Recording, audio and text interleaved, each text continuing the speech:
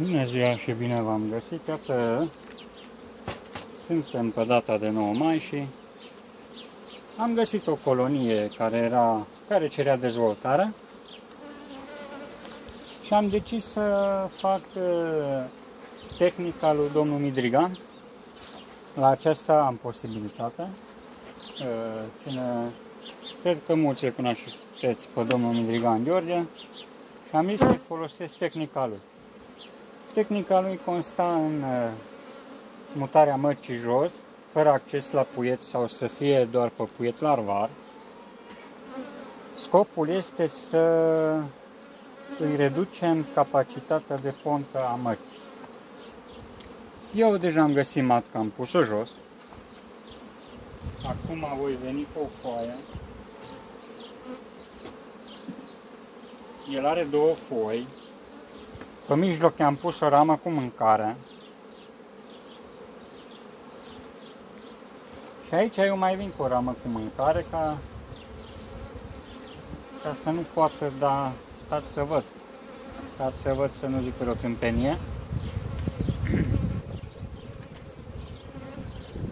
Aici are ceva puiet și larvar. Dar eu o să-i las această ramă, fiindcă nu are unde să mai o matca pe această ramă. Deci scopul este să ouă numai pe ramele care le va construi. Acum mai organizez un pic uh, lada. Vreau să-i bag niște foi de polistiren în laterale.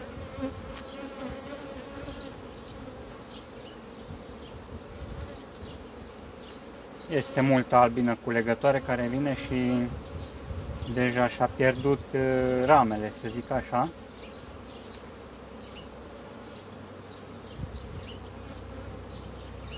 Iată, deci mâncare, foaie, mâncare, foaie și iar mâncare. Acolo mai un pic de puiet larva. Puteți folosi și puiet larva, am înțeles, fără nicio problemă. Acum aducem niște polistiren.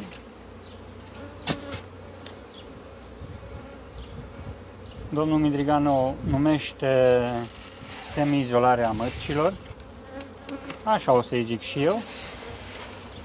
Eu am făcut și izolare completă, Acum facem și semi-izolare și totul este pentru a combate roirea și a mări producția de miere.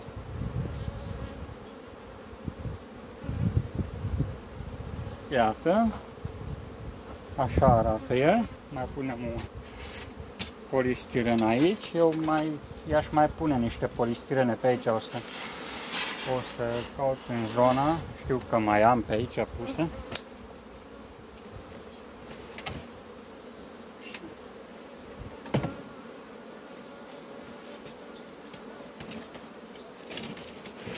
Punem polistiren și din asta alb.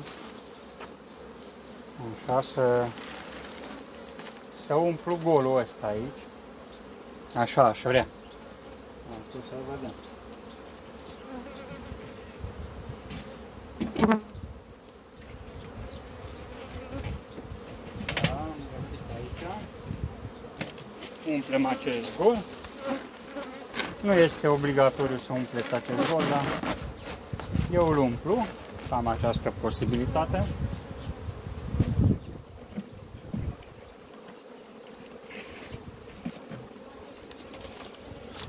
A, e, e rezolvat. Acum punem această gratie Haneman. Sper să nu, cred, da, nu trece. Nu cred că poate să treacă mătcuța pe acolo.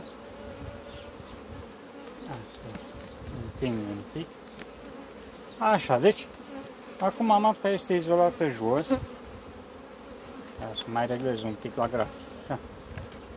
Că voi pune catul și atunci nu va urcă sus.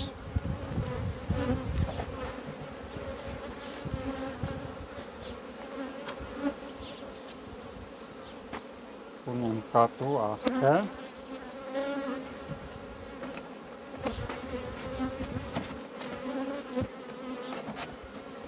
Așa se potrivește perfect. Acum am închis și gratia cu totul. Stați să vă și arăt. Că o să e un pic mai greu, dar vă arăt. Iată acum așa arată. Gratia este închisă complet cu un unghiul acesta. Ia să vedem dacă ține trepiedul ăsta. Ah, o să țină. Ridicăm mai sus ca să putem vedea.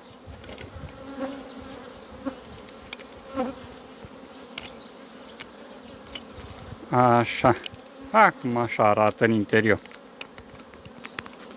Bun.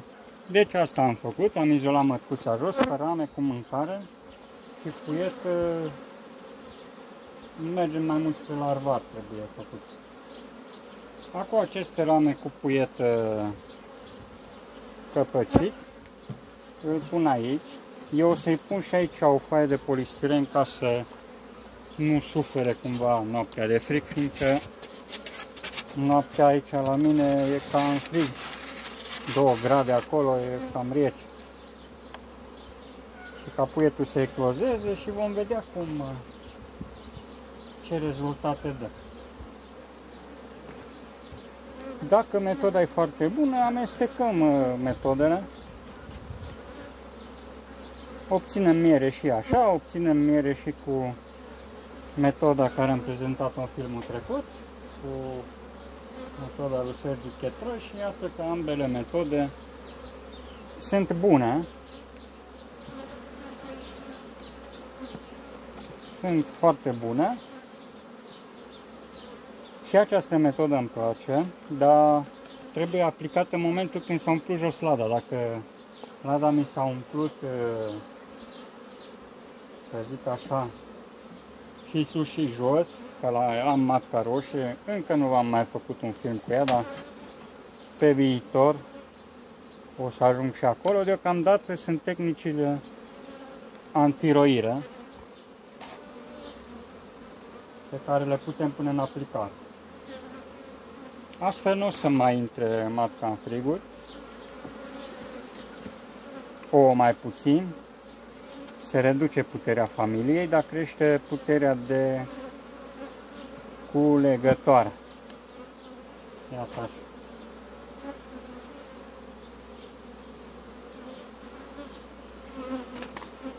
Eu aici ar trebui să mai aduc uh, rame gata construite, dar voi vedea cum voi proceda. Deocamdată am adus puiet.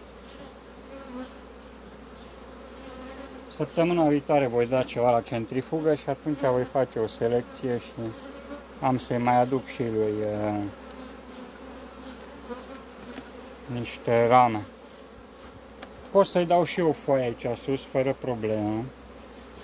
Atâta tot uh, pot să o construiască, deci nu, nu e problema cu ea, o să construiască.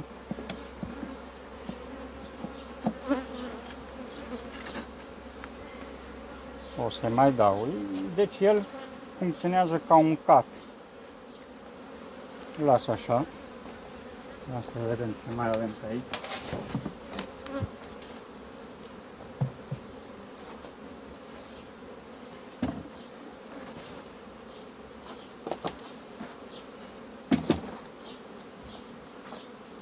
Am mai găsit o astfel de ramă.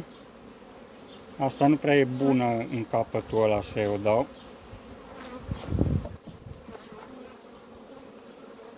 Le dau în partea asta la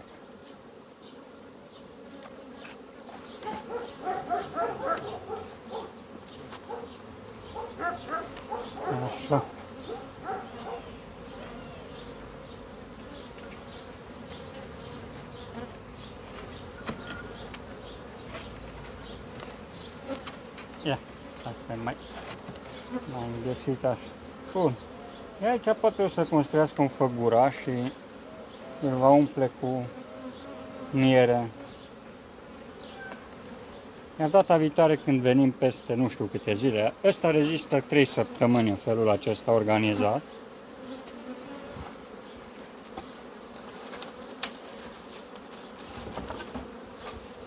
Îi pun și aici o cu diafragma și e gata rezolvat.